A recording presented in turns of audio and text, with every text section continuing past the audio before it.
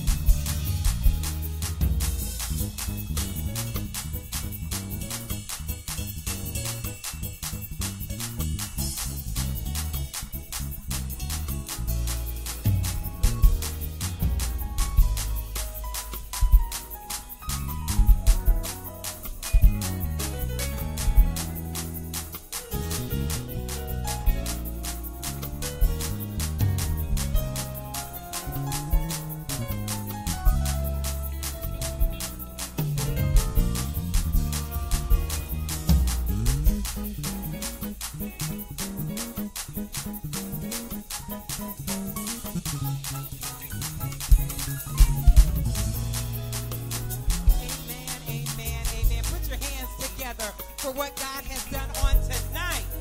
Hallelujah. Souls saved. Souls delivered. And I'm feeling mighty refreshed. Anybody feeling refreshed on tonight? Amen. We thank the Lord. We just have a few announcements we want to let you know. You that are interested in getting something to eat, they are selling refreshments downstairs. They will have uh, dinners that you can purchase chicken, green beans, mac and cheese, uh, $6. Yes, $6.